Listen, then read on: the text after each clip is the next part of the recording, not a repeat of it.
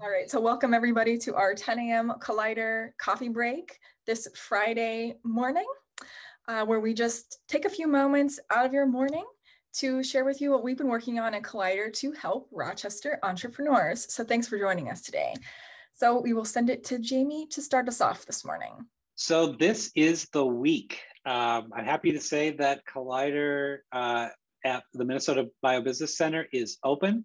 Um, it's a it's been a really hectic couple of days, uh, getting everybody adjusted, uh, getting everything sort of set up and going. But the day is here. We're so excited to have our space open, and uh, we're really looking forward to uh, really the growth of this new space uh, here in this fantastic building.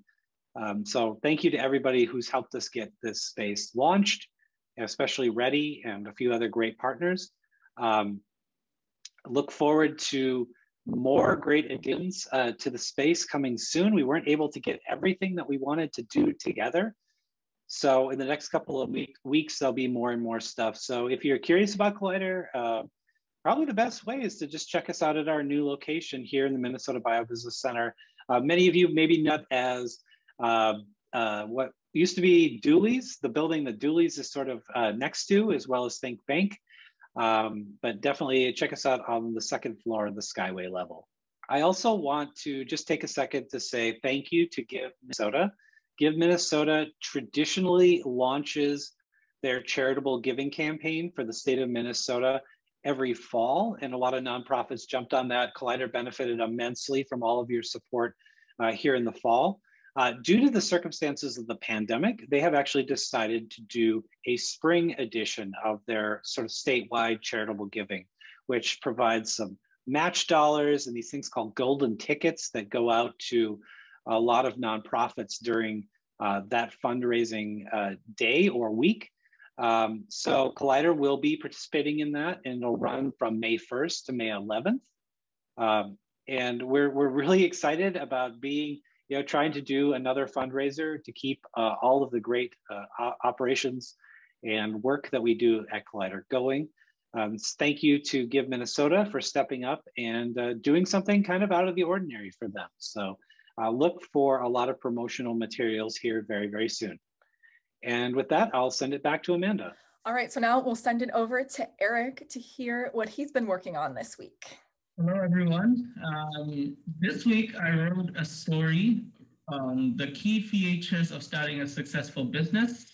Um, in this story, I highlighted some of the mindsets and techniques that entrepreneurs that we've been we've been interviewing for the past couple of years tend to have. I highlighted, I also highlighted some strategies that people can use and people can think of when they're starting business their own businesses. So it could be useful in the long run whenever they need it. And um, it's at the final phase, and we'll be publishing it sometime soon. So stay tuned for that. Um, also, another thing, another thing that I've been working on this week is I will be interviewing entrepreneurs who are still starting their new businesses in Rochester. So in, this is a new theme of stories where I'll be talking about entrepreneurs who um, recently are building their own businesses. And in that, I'll be highlighting about how and why they want to start a business at this time. What are some of the strategies they have in mind? What are some of the plans they have in mind? And what kind of goals they want to reach? So it's a very interesting um, topic and I'm really excited to be working on that. And I will be interviewing two entrepreneurs regarding that this week, and their stories will be out pretty not not so long in not so long. So stay tuned for that as well. Thank you very much. So, in other stories on Rochester Rising this week, we publish podcast episode 219 this week with Dr. Abby Splittstoeser of Rochester Chiropractic and Wellness um, as well as featuring a bit of that podcast in a story this week. So this was a really great conversation with Abby talking about how she purchased an existing business in the community, which I think some is something people are really interested in.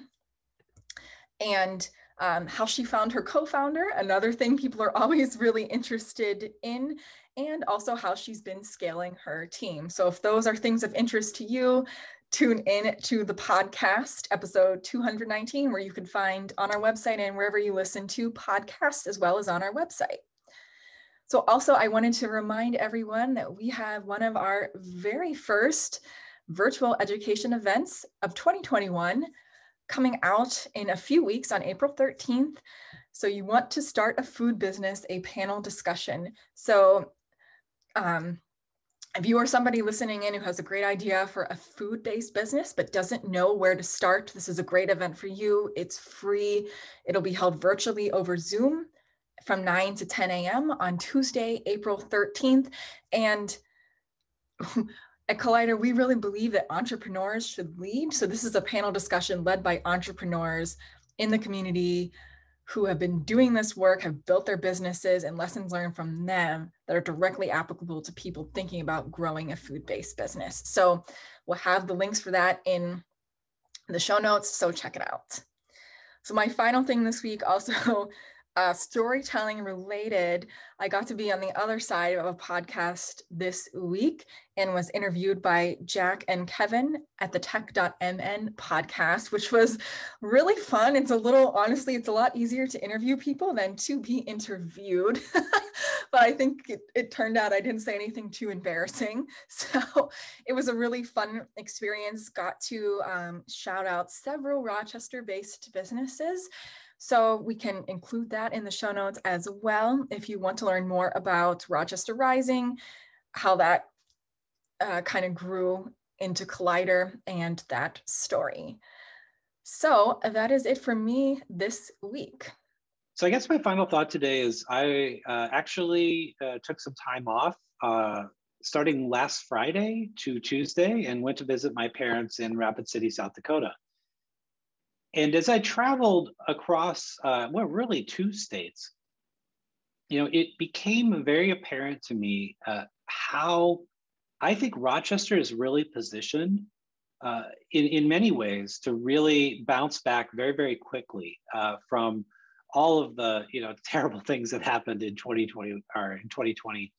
And I'm really, it really helped to raise my spirits a little more that that we're really there's so much opportunity in this city that I think sometimes we take it for granted and we think, oh, well, every city's like this. It's truly not. You know, going across and being, you know, even involved for a few minutes inside a community, you can kind of tell how that community operates. And I think we're in just such a great position here in Rochester to do some amazing things with some really amazing people. So I, I just wanted to sort of reinforce that it helps to get out of the bubble every now and again and I think we are in a fantastic position here in Rochester. And I can't wait to see all of the great companies, all of the great partnerships, all of the great large companies that are interested in moving to Rochester. I think it, it, this this next few years is going to be quite amazing for this for the city and for our entrepreneurial communities. So um, I just say onward. It's it's going to be a fun ride. And with that, I'll hand it back to Amanda. All right. Thanks so much, everyone for tuning in to our coffee break this morning and for spending a few minutes of your time with us to learn what we've been up to at Collider to help Rochester entrepreneurs. So thanks for listening in today. And as always, we encourage you to like this video, make sure that you receive notifications for when new ones come out, and please forward it on to at least one person that could be helped by some of the information shared today. So thanks for listening in.